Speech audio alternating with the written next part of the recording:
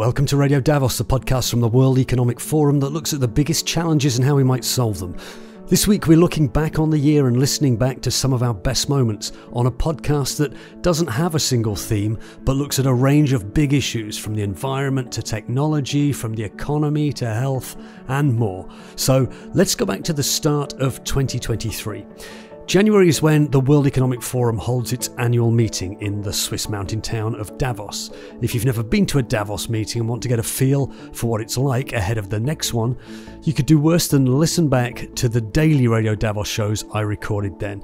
This is the opening montage from day five, which gives you an idea of the breadth of issues discussed, such as macroeconomics with the head of the European Central Bank and the rising importance of artificial intelligence. Each daily episode was co hosted with leading podcasters, and we'll hear a little from my co hosts on day five British journalists Emily Maitlis and Jon Sopel. And you'll also hear some impromptu music, which starts off the show.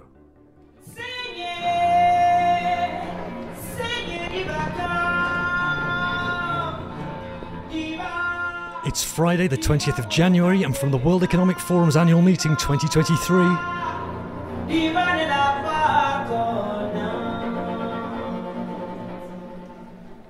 This is Radio Davos.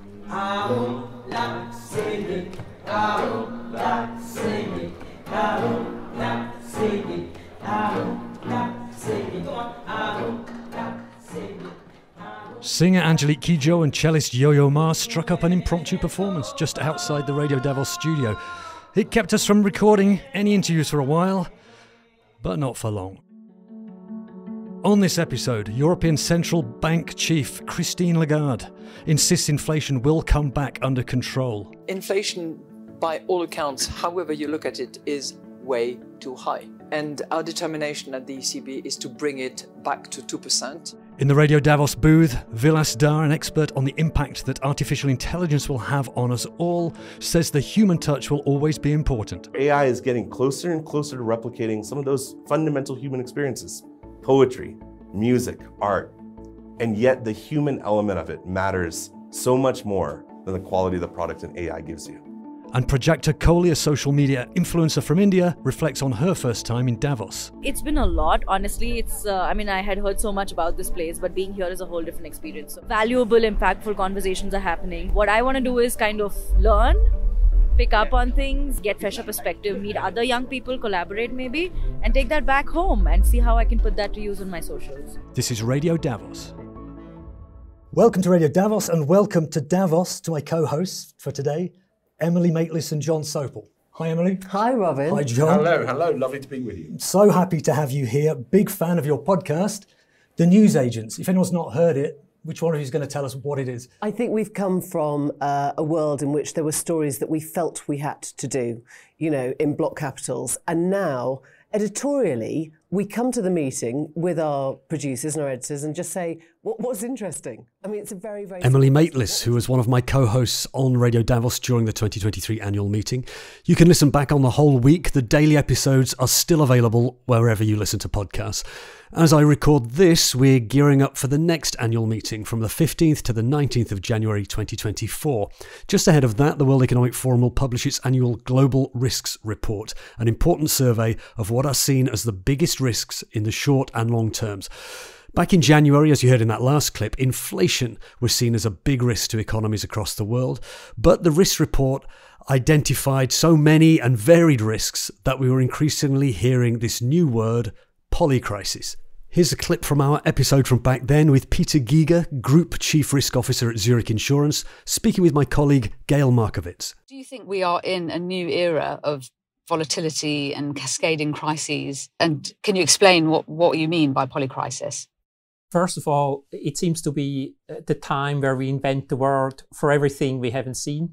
Uh, and may, maybe the perception is a bit flawed because more likely we're coming out of an area of uh, almost unnatural stability that we saw for maybe 15, 20 years. Because if you look at human history, what we experience today seems not so out of the norm when uh, basically stability is something that was not observed in history for very long periods of time. Having said that, I mean, we've built the world that, that produced a lot of wealth for a lot of people through connecting, through trade, through openness. And now all in a sudden we realize that the foundation for all of that wasn't strong enough to really secure the benefits that we, we thought we had. And, and we're confronted with the fact that we may lose some of the benefits that globalization has produced over the last 20 years. I think, yes, the era that we've gone through was quite stable. I think the outlook is probably less stable. Every generation thinks they experience the worst headwinds in history. I think that's also very human. Uh, but then at the end of the day, what it takes is trust into the future. I mean, in the dark ages, people have built churches over generations. How have they done that? And, and why can we, that we think we're culturally so advanced, not come together in a project that takes us 25 years? So that's just a generation. We're not talking 50 or 100 years. Peter Giger, Group Chief Risk Officer at Zurich Insurance, which, along with the consultancy Marsh, collaborates with the World Economic Forum to create the Global Risks Report. Look out for a Radio Davos episode on that ahead of the annual meeting 2024. Jobs now, and another major report from the World Economic Forum, the Future of Jobs report. In an episode from May, I spoke to Jeff Maggioncalda, CEO of online learning company Coursera, about the huge disruption that artificial intelligence was likely to bring to the world of work. Before that, in that episode, Gayle Markovitz again asked Forum Managing Director Saadia Zahidi about the headline findings of the Future of Jobs report. We're faced with some fundamental changes to the jobs market the impact of COVID, the green transition, the rise of AI, macroeconomic uncertainty. How would you characterize this moment in time and what's the expected impact on labor markets? So I think you said the word uncertainty. That is really key here. When it comes to some of those macro trends, there's some very positive ones. So it's clear that the investments in the green transition will be very positive for jobs. It's clear that um, ESG standards and their widespread application across different um, companies and industries is again likely to add to a growth in jobs. These are likely to be positive trends. At the same time, there is a potential risk of a prolonged economic downturn. There continues to be high inflation that um, impacts input costs, but also impacts the purchasing power of consumers. And so those are likely to be trends that will negatively end up impacting jobs.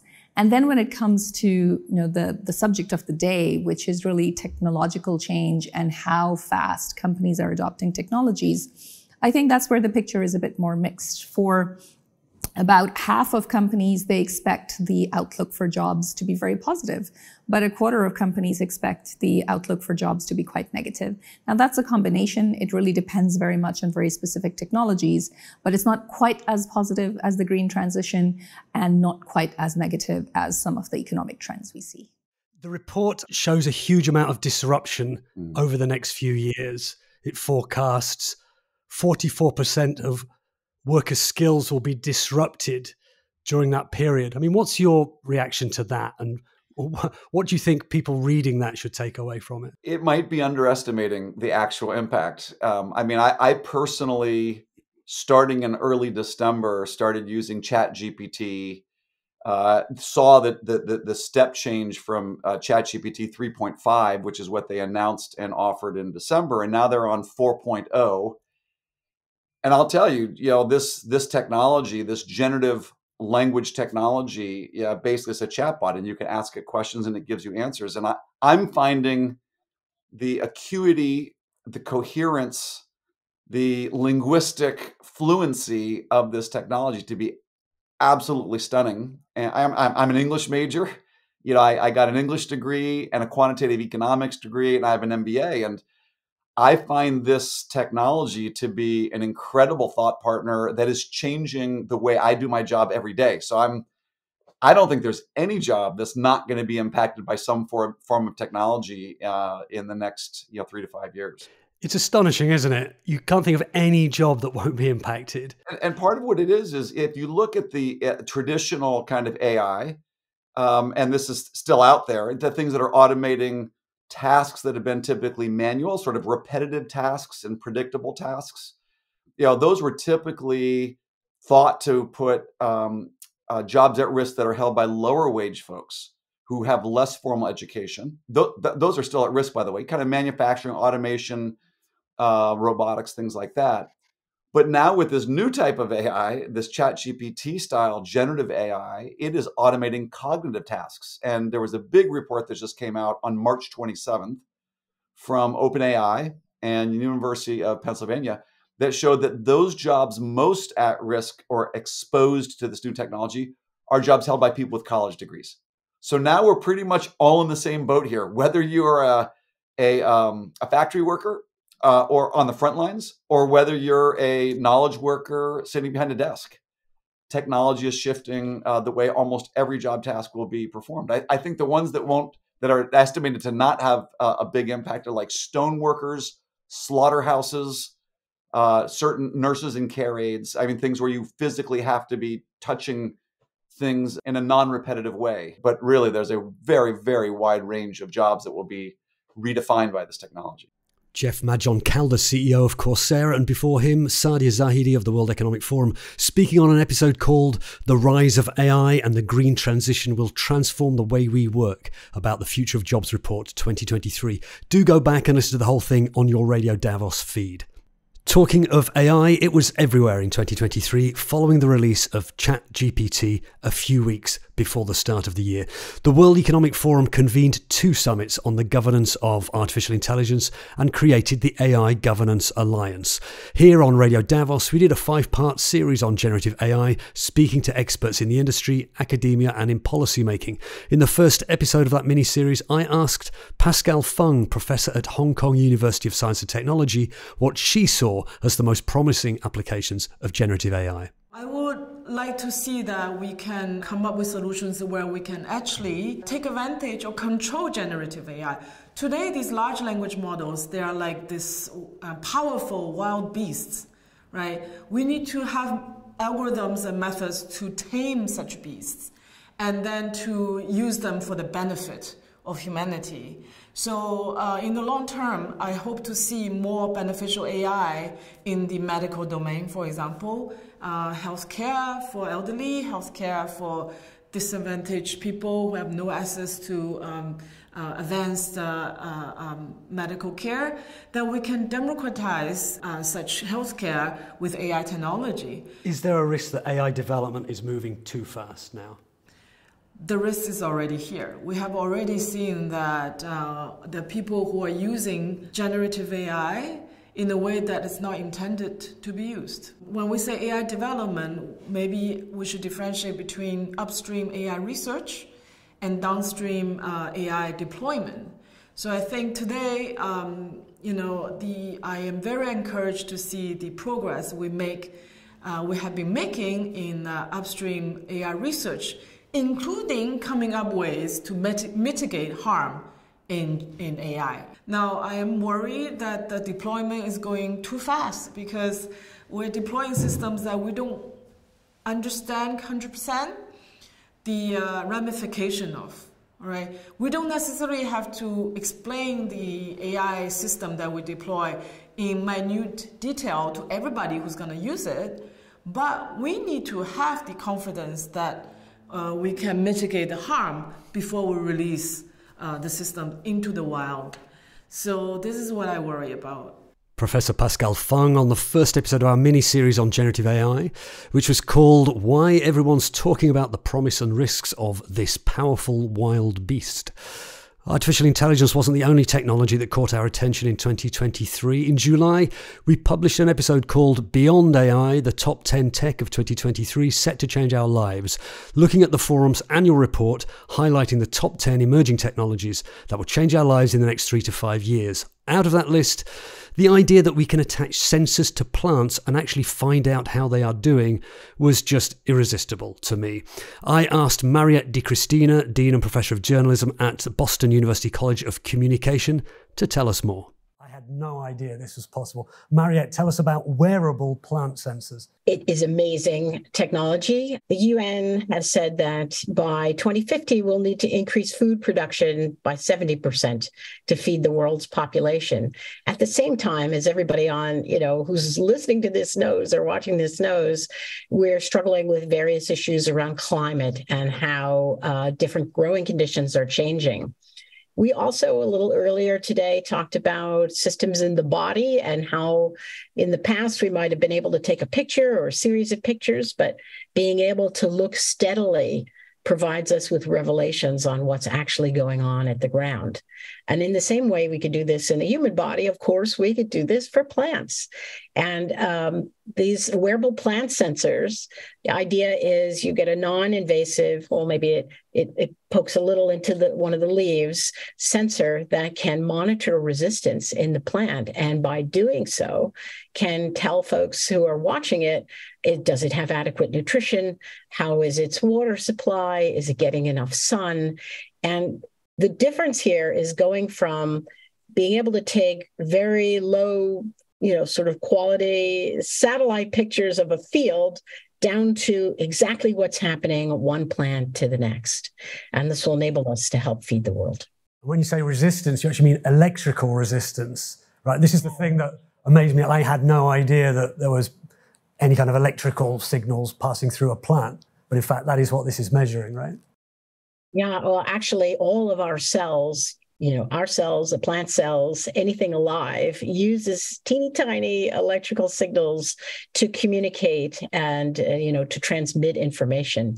Uh, we are, I suppose, different in some ways, in many ways, from electronics, but we do contain our own little uh, voltages going on in our bodies, and the plants do too. And by measuring those electrical, light little electrical changes in the plant, the sensors will be able to give a lot of precision to what's going on in the field. Mariette Di Cristina, who, along with Bernie Meyerson, Chief Innovation Officer Emeritus at IBM, draws up the top 10 tech list. By the way, you can watch as well as listen back to that episode. Find it on the World Economic Forum's YouTube channel. The Top 10 Tech report has been going since 2011, identifying little known technologies that then it was supposed would go on to have huge societal impact. One technology highlighted in one of those reports was something called genomic vaccines or mRNA vaccines, a promising idea at the time that went on to underpin the majority of vaccines created to defeat the COVID pandemic. And the question of how we might prepare for the next pandemic was the subject of a Radio Davos episode in July. I spoke to the author of Disease X, a book that looks at the lessons we can learn from COVID and other novel disease outbreaks. Here's author Kate Kelland. Of course, COVID 19 was the disease X before it, it got its own name. You're right, it was a novel disease. We had never seen it in humans before.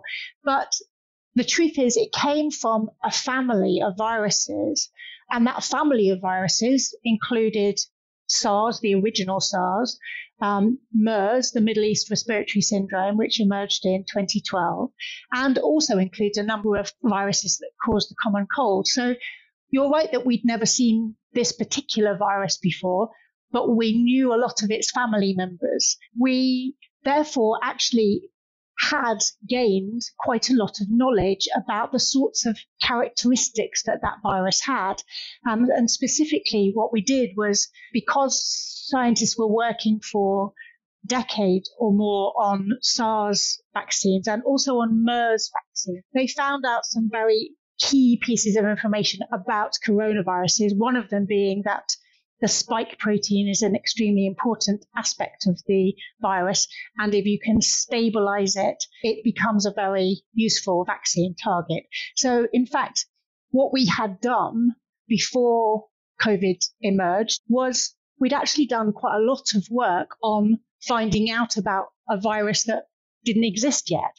And so essentially, what this book is saying is that if we do that kind of homework on every one of the 25 or so viral families that we already know have the potential to cause human disease in humans. So each one of those families has already produced a virus that can, can jump into humans and has jumped into humans. Then we can actually gain a lot of knowledge ahead of time about something that doesn't exist yet. It sounds bizarre, but it, but it, but the proof is in the pudding in terms of that's what we did with COVID, and it's also as, as it happens the situation that we were in with monkeypox. We already knew an awful lot about that virus, and we actually already had a vaccine that worked because it came from the same family as smallpox, camelpox, all sorts of other pox viruses, and they share common traits. So scientifically, it's about doing that basic research and um, the vaccinology work, and actually you can get a long way towards being able to produce something that will target a novel virus before that virus even emerges. It's quite reassuring, again, to a non scientist to hear 25 families because I'm just reading in the book here. Scientists estimate there are around 100 million types of viruses on Earth. It's, it's just baffling this, the, the enormity and how minuscule these things are. If we're able, though, to get a grasp on those 25 families and put us that many steps ahead, this should be very reassuring. So, what's the bad side then? What's standing in our way of doing that? One of the bad sides is, you know, there are 25 families, but the coronavirus family itself, for example, has already given us SARS, MERS, COVID, you know, pretty bad we're not talking about 25 viral threats. We're talking about 250 to 300 viral threats. It is a big number, but it is finite. So, so it's not this kind of unfathomable amount of work. It is a vast amount of work, but it does have an end point and it is doable. Kate Kelland on an episode of Radio Davos called Disease X How the World Can Stop the Next Pandemic. Staying on health, in April I spoke to filmmaker Shannon Cohn about her documentary Below the Belt.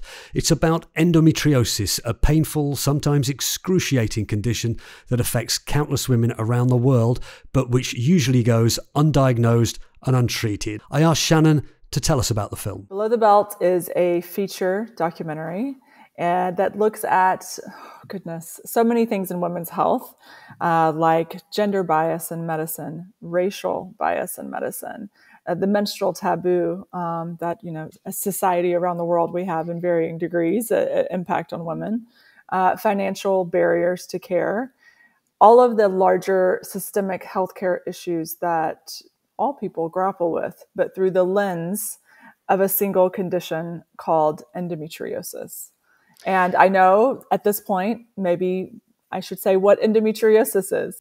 Well, before you do that, I'm actually going to play a clip from the film. This is, uh, we're going to hear several voices of women talking about it, and you'll hear what their experience is with endometriosis.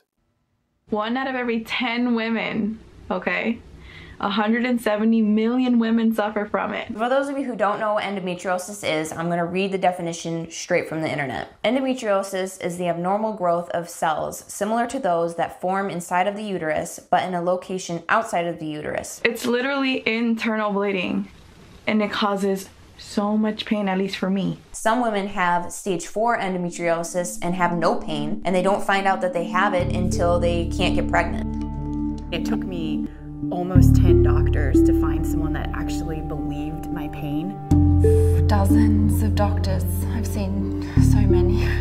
I probably saw more than 35 physicians. So, Shannon, endometriosis, how did you come to this condition? Why, why did you decide to focus on this for a movie? It's it's a personal choice, um, and I think a lot of people maybe identify with that. When a lot of our life's passions are driven by personal experience and things that you know resonate with us. I first had symptoms of endometriosis when I was 16, uh, yet didn't hear the word until I was 29 years old. So this yawning 13 year uh, gap of not being believed actually by healthcare providers, being told my symptoms were in my head or part of being a woman or I was exaggerating. All of the things that now we the term now that you know the hot term is gaslighting, but that's that's what happened. I can guarantee you every woman listening to this podcast right now, if if you were to ask her, "Hey, have you ever gone to the doctor and somehow felt discounted in what you said about your body, about your symptoms?" Almost 100%, if not 100%, would say, Yes. it's, it, it is a universal experience as a woman to somehow be doubted indirectly or indirectly about symptoms that you have when you go into a healthcare provider's office.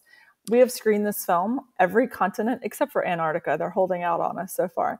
Uh, and I have asked audience members, you know, who has not been believed without fail everybody raises their hand. And and, and smiles because it's you know they it's a common understanding even though it's not funny.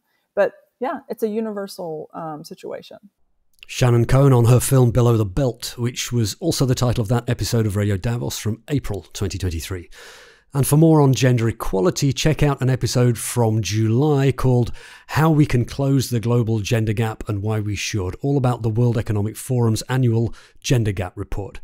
But staying with health, have you ever heard the term value based healthcare? It's something that the World Economic Forum is working on, which is about health services that are based on outcomes rather than procedures, something that should be more cost efficient and deliver better experiences for patients. The term value based healthcare was coined in 2006 in a book by Harvard professor Michael Porter. So the idea has been around for getting on for two decades. And as you'll hear in this episode, it seems like a kind of obvious way forward for the evolution of healthcare in different systems around the world. I spoke to Meni Styliadou, founder of the Health Outcomes Observatory and Vice President Health Data Partnerships at the Data Science Institute at the pharmaceuticals company Takeda, and she had plenty to say on how difficult it is to turn around a big system like a healthcare system.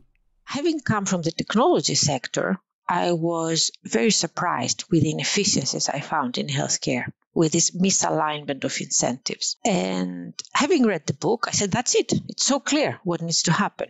I decided let's organize a conference in Brussels. We had the conference, the commissioner were there, there were a couple of ministers, captains of the industry, 200 people in the audience, and I felt job done. Now it was going to take three five, to five years maximum for this to really resonate with everybody. You felt it was job done because it, it, it was obvious. It seems so obvious. It's so obvious. Kind of, it's win-win all round, and there will be efficiencies, and everyone's experience is going to Im- improve. Sorry, I interrupted you. Why was it not job done then in the next couple of years? That's a really good question, and I spent the rest of the last the last 15 years trying to figure it out. And the reality is a big change. It's a huge change of the system. Really big change of the way hospitals operate, of the way of the way healthcare professionals are being rewarded to a certain extent. So it is a massive change. And governments decide to do these big changes whether there is a big opportunity or a big threat of some sort. And in that case, we may actually reaching that tipping point because we are as a society we are aging. The healthcare expenditure continues rising. And as a society we can't quite afford the same type of healthcare. But it needs a crisis because such a big change often requires some type of crisis or some type of huge innovation. In the case of healthcare i actually believe that we are approaching this tipping point because we have a bit of both. So, on one hand, we have the crisis, the crisis is emerging everywhere. On the other hand, we also have the technology innovation will come through digital technologies. Meni Styliadou. And if you're curious as to what that concept, value based healthcare, could actually mean in practice, do seek out that episode from November. It's called Quality Over Quantity When the Time Has Come for Value Based Healthcare. And on it, we also speak to a doctor who's putting it into practice. Time for one last dip into the Radio Davos 2023 catalogue. With climate change always topping the World Economic Forum's Global Risks Report, we're always looking for ways to tackle this urgent and complex problem. Nature based solutions can play a big role, and among them is, of course, trees. Environmental scientist Tom Crowther's research a few years ago into the massive potential of trees to absorb carbon helped spur the Trillion Trees movement to plant, restore, and conserve forests. But that research also caused misunderstanding. As he published updated research, Tom took the opportunity to stress that growing trees must increase biodiversity and not lead to monoculture plantations, and that it must never be an excuse to slow down the drive to eliminate greenhouse gas emissions. It's important to remember that a forest is not just a load of sticks of trees. They're not just sticks of carbon. These are diverse, thriving ecosystems, and it's the biodiversity within them that allows them to capture and store all that carbon in the long term as a wonderful byproduct. But yeah, our research on forests, I'll put it lightly, it's been a roller coaster ride. So, about four and a half years ago, we published a paper in the journal Science showing that the restoration of Earth's forests could capture around 200 gigatons of carbon. That's 200 billion tons of carbon, which would make it a really useful contribution in the fight against climate change. It's about a third of our climate change carbon drawdown goals. And when that paper came out, it went absolutely viral. It was headlines in every media, inspired the launch of the UN's Trillion Tree campaign. WEF launched their 1T.org. The UN Decade on Ecosystem Restoration was initiated. This was a, a, a time when nature was really heavily in the conversation. But it also came with downsides because it was also a moment where greenwashing exploded. This idea that you could just plant a few trees and ignore the very real and urgent challenges of cutting emissions and conserving the ecosystems we have. And this idea of mass tree planting really just exploded and it led to a huge amount of controversy because obviously academics and, and scientists and NGOs all across the planet were outraged. Mass tree planting has nothing to do with global restoration and the recovery of ecosystems. And yet, there's this really dangerous idea that companies are just going to go, okay, we'll carry on emitting our carbon, bang a few trees in the ground, and everything's done. Not only would that probably damage the ecosystems that they're planting in, it would be devastating because ongoing greenhouse gas emissions would continue to limit the sustainability of those ecosystems in the long term. So, it was a moment where nature came to the fore, but also greenwashing came to the fore. And so it's been a really turbulent time for the last few years. This threat of greenwashing is an insidious threat and it has undermined the entire environmental movement. Wow, that, that's that's quite a statement. yeah, it's been an intense time. And, and I've obviously experienced the intensity of that conversation from within. It's been a pretty brutal time. It's been a horrible four years of my life, particularly as an ecologist who loves the complexity of nature. To be linked with this message about mass planting of trees is devastating. Tom Crowther is a professor at ETH Zurich, speaking on an episode called Not Just Sticks of Carbon How Growing Trees for the Climate Must Also Benefit Biodiversity. So that was just a small selection from the many weekly episodes that Radio Davos has published this year. You can catch up on all of them on wef.ch slash podcasts or on any podcast app. And don't miss our other podcasts, including Meet the Leader and Agenda Dialogues. And join the conversation about podcasts on the World Economic Forum Podcast Club on Facebook. Thanks to everyone who's joined us on the podcast this year and to my colleagues who've helped put them together. Radio Davos will be back in 2024, but for now, thanks to you for listening and goodbye.